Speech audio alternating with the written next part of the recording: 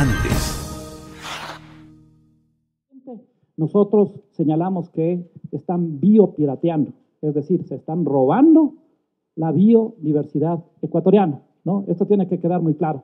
Existe un proceso establecido que tienen que cumplir la norma nacional y en este marco, en función de esta investigación, luego de haber identificado 6.452 recursos genéticos endémicos del Ecuador, luego de haber visto a nivel mundial quién ha solicitado patentes o quién ha patentado eh, esos recursos genéticos endémicos ecuatorianos, y luego de haber visto si es que han solicitado en el Ministerio de Ambiente eh, a la autorización para el uso de esos recursos genéticos, podemos identificar quiénes son los países más biopiratas de los recursos genéticos del Ecuador. Eh, ¿Cuáles son las nacionalidades de los solicitantes de los países de invenciones desarrolladas a partir de los recursos genéticos endémicos del Ecuador?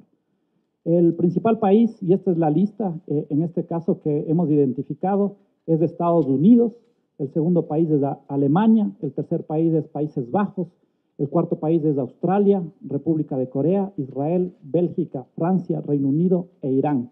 Son los países, en este caso, que hemos logrado identificar que ocupan el ranking de países más biopiratas de los recursos genéticos eh, ecuatorianos.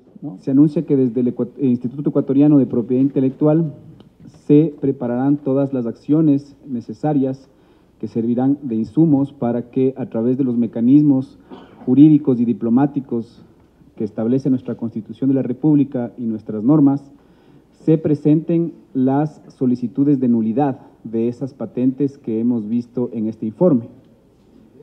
Así que solicitaremos en cada una de las jurisdicciones en donde se han registrado las patentes desarrolladas sobre la base de recursos genéticos ecuatorianos, solicitaremos la nulidad de esa patente por cuanto no se obtuvo la autorización del Estado ecuatoriano para acceder al recurso genético.